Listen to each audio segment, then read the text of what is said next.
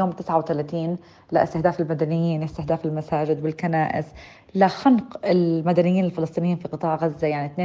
Au 39e jour, l'occupation sioniste continue à cibler les civils et les lieux de culte, à asphyxier et à pousser à l'exil les 2 millions de Razaouis du nord vers le sud.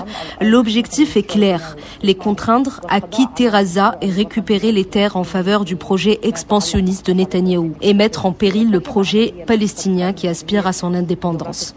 L'occupation sioniste applique en vérité ce que stipulent les accords de Balfour pour réduire le peuple palestinien en minorité. Pour expliquer ce retard dans l'application de cessez-le-feu, c'est que de nombreux pays protègent l'occupant et légitiment ses actions et lui laissent le temps nécessaire pour commettre ces massacres, étrangler et affamer le peuple palestinien si toutefois il survit. من خلال التجويع ومن خلال فقدان الأمل وتهجيرهم قسريا للجنوب لمن بقي حيا يعني